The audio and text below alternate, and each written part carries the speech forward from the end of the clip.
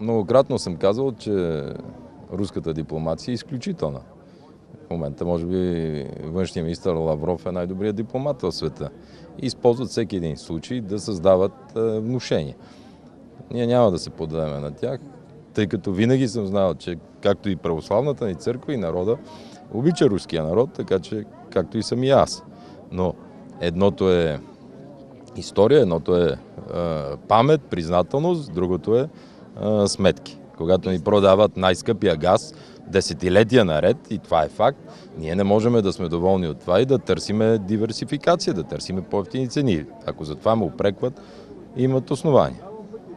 Но ние проверяваме и Shell, проверяваме и ОМВ, проверяваме и ЕКО, проверяваме... ли са се на дипломати и на посланници? Но от тях още не съм получил нота. Посланника ни в Москва Бойко Коцев е бил викан в Руското външно министерство а, по повод вашите реплики, че нашите братя ни продават най-скъпия газ. Това не са мои реплики, това са факти. А, да, имате ли тази информация? Как да, има нота, но тя е във връзка с проверките на митницата в Лукойл.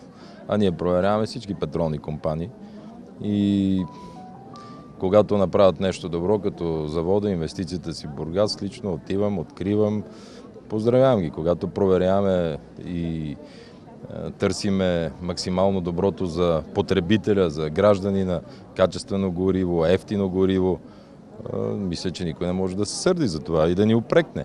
Факт е, че откакто започнахме проверките, горивото доста намаля като цени, а пък мисля и, че в качеството вече има доста голямо подобрение. Как си обяснявате, че една компания, която е търговска компания, използва дипломация, за да се оплаква от проверки, което е нормално да, да контролните органи? Вижте, преди чувал съм ваши колеги да ни опрекват, пък че сме приятели с директора на Лукол.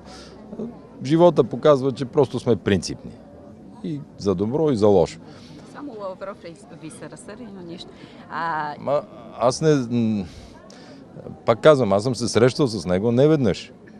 Изключителен дипломат. И просто използва всяка възможност на подобни на господин Колев, уважавания от мен, изказвания да събужда в обществото напрежение.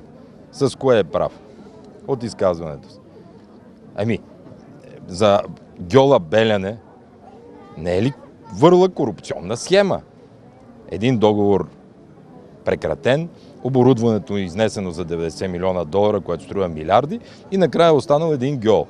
На този гьол аз дойдох и първите ми дни като премьер ви заведох да го видите.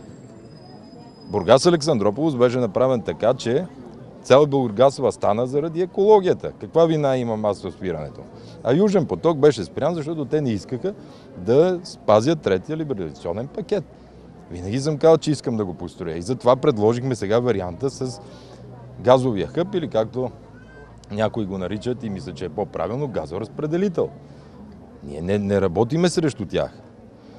Военният министр ми предложи схема за изтребителите да се отремонтират Польша, защото Польша не плащаме ДДС и ни излиза по-ефтино.